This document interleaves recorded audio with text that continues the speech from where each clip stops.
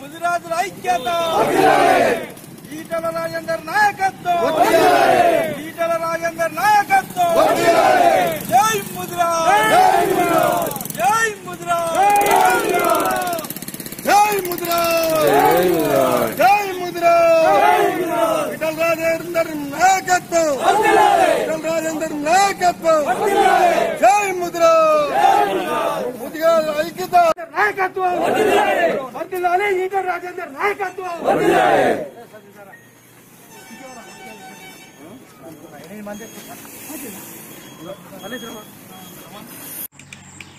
ఈరోజు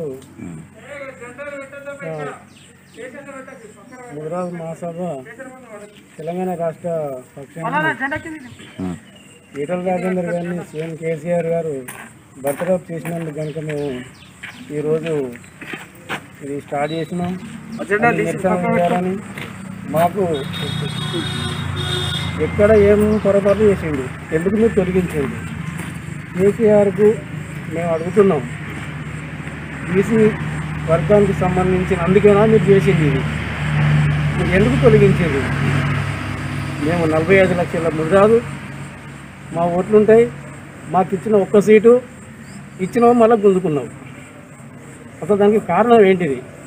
నిన్న కోర్టుకు పోయిండ్రు. నిన్న కోర్టు కూడా ఏం తీర్పిచ్చింది? ఇది నువ్వు కారులో కూర్చొని నువ్వు దీన్ని రిపోర్ట్ తెప్పించి రాసుకున్నారా? మీరైనా రాసుకున్నది అనేది. వాళ్ళ మామూలు ప్రజలు కూడా చెప్తున్నారు అక్కడ. అసలు నీ ఫామ్ హౌస్కు పోవడానికి నీకు రూట్ కూడా పబ్లిక్ దగ్గర గుంజుకున్నట్టు కూడా నీ దగ్గర కూడా సిబిఐ ఎంక్వైరీ పెడితే అది కూడా తెలుస్తుంది.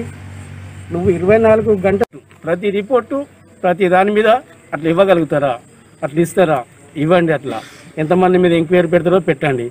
ఈటల రాజేందర్ పెట్టిన ఎంక్వైరీని ఇవాళ కోర్టు ఏం చెప్పిందో అది మీరు కూడా విన్నారు. అది అందరికీ తెలుసు.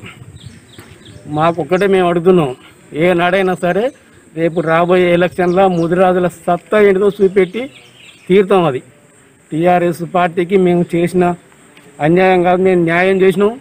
మమ్మల్ని అన్యాయకులకు గురి చేసి ఈరోజు మమ్మల్ని ఎంత ఇది బా మాకు ఇన్సర్ట్ కనిపించింది కాబట్టి మేము తప్పనిసరి ఇంకా పికారింగ్లు చేస్తాం.